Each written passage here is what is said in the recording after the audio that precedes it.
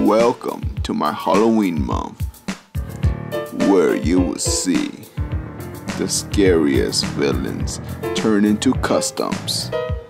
Viewers beware, you're in for a scare.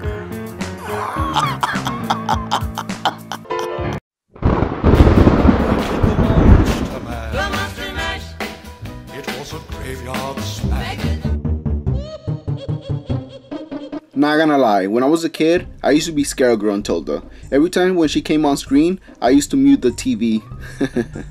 to me, she's an iconic villain. I used to love all these cartoony villains from the 64 era. I wanted to make a Gruntilda to go with my capital B, or vice versa. I can just imagine these two villains arguing with each other. Ah, ah, ah,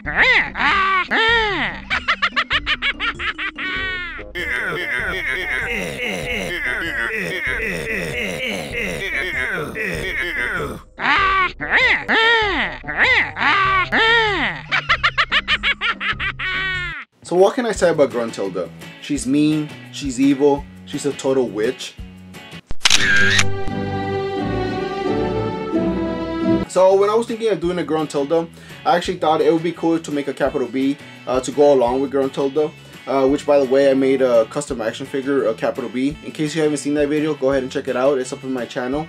Uh, but I just wanted to make both of these villains because uh, like as I already mentioned, I feel like they'll bicker a lot with each other and like they just seem so menacing and dumb at the same time, which is kind of surprising to pull off. But but yeah, I, I just wanted to make both of these uh, villains. If you saw my capital B video, you're actually gonna be surprised that I actually used the same base to make Gruntilda.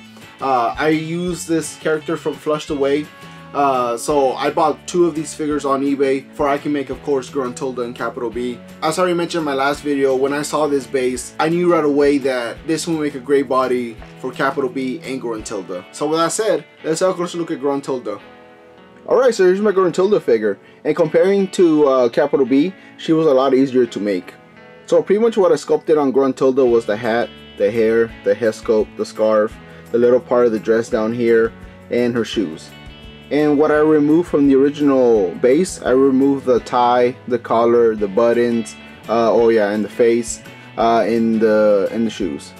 And I'm glad that I used the same base to make these figures. Uh, that way they can be in scale with each other because I always picture them to be uh, somewhat in the same scale. This customs might not be perfect, but I'm really proud of them because uh, I turned this flushed away character into these two knuckleheads. And to me, that's really cool because uh, if I wouldn't show you the picture of this character from Flushed Away, uh, you wouldn't have guessed what characters I used to make these guys.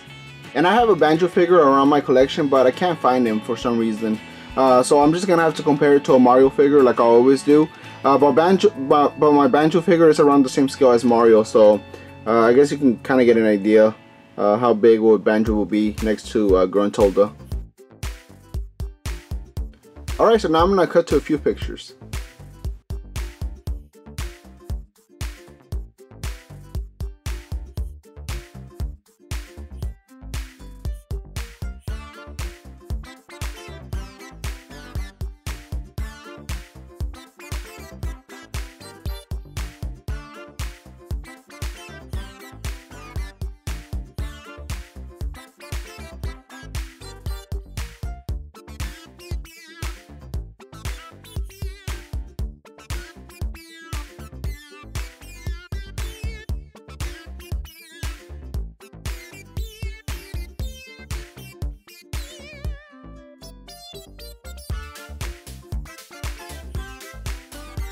Alright, so I put my Gruntilda with the rest of my custom action figures.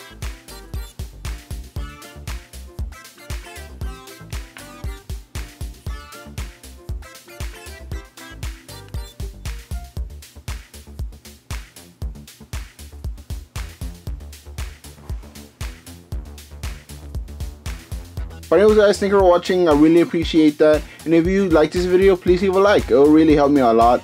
Uh, stay tuned because next week I'm going to be uploading another video of my Halloween custom. And also follow me in my other social media. And again guys, thank you for watching and I'll see you next time.